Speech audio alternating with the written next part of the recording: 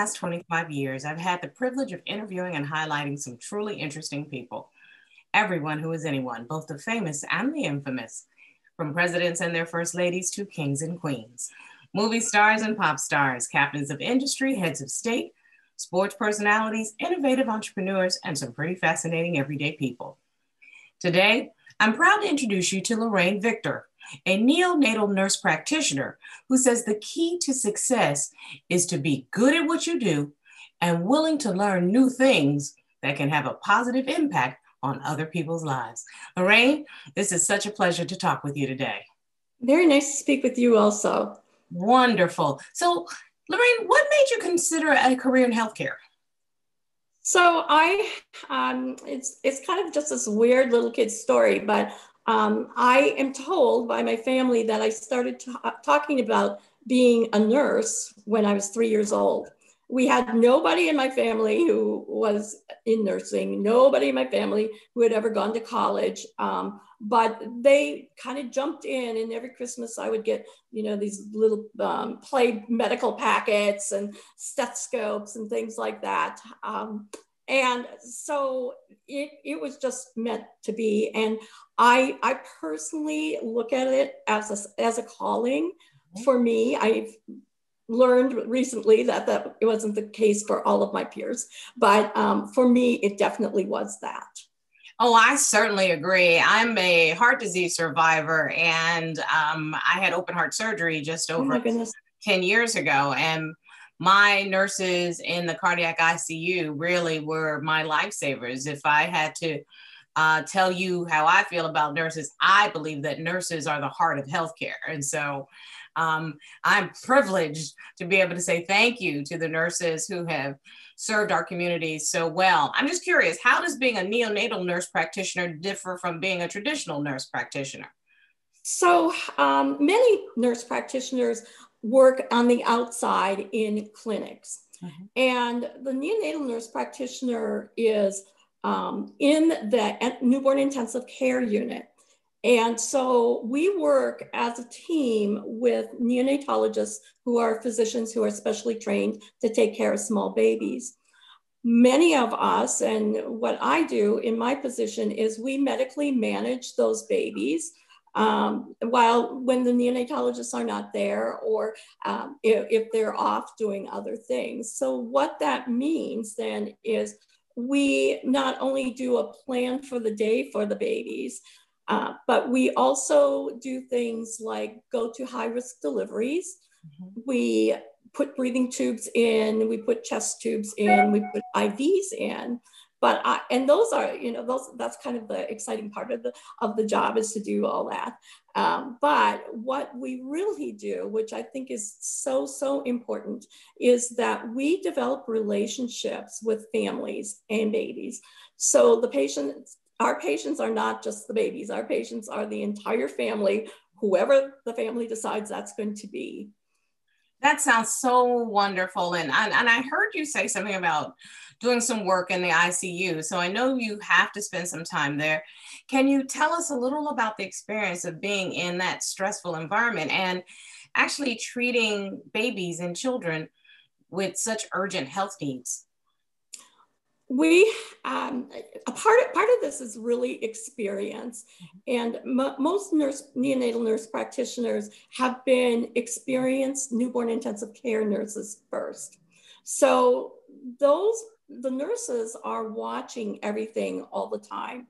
When we're when we're in the unit, when we're not off doing all those uh, you know other uh, tasky kinds of things, we are managing the medications, we are managing the IVs, we are answering questions that the nurses have in caring for their babies. We are starting medications, we are following all the vital signs of the babies.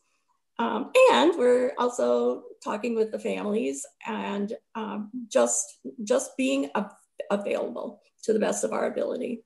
Um, but Lorraine, that has to be emotionally draining at times when you are around babies that can really be um, in need of very urgent care. Yeah, it, it, it can be. I, I come home tired, but I'm old now, so that's probably why I come home tired. but we, um, many of us work like 24 hour shifts. Mm. Um, and you come home exhausted after it. But uh, I, even, even when things are not going so well, perhaps for the babies, then our jobs change to some degree to provide what, whatever it is we can. So for instance, if a little baby looks like they are going to pass away, then we change what we're doing to really providing the best death for that baby and for that family that we can do. Um, it is emotionally draining, but you you come home feeling like you did something important. And I can assure you that you do. Um, I love that you've taken on something of a teaching role within the different hospitals that you've worked. How'd that come about? And tell me what have been the results of those lessons. Oh my goodness. I, um, as, as a, a, brand new NICU nurse um, down in Rochester, Minnesota, um, at one year, I've been a nurse for one year, and one of my mentors thought that I might be good at going out and talking to other people. I was very passionate about caring for the babies and having other people care for the babies and teaching them how, even at that point. So um, my friend Mary um, got me out there and taught me what to what to do, and um, it was it was such a great thing for me and really kind of unusual because I was the kid in the class who never raised their hand, never never wanted to say anything to anybody. Um, and now some people say you can't shut me up, uh-huh. but but that that role of teaching has followed um, my whole career now, and I I still go out and teach at other hospitals. Um, I teach nurses and physicians. I also um, teach kind of one on one, one on one at the bedside, and I really love having brand new nurses in our unit where we can talk about their particular baby and what might be important about their baby, what they should be looking for, and what I'm looking for, all of those things.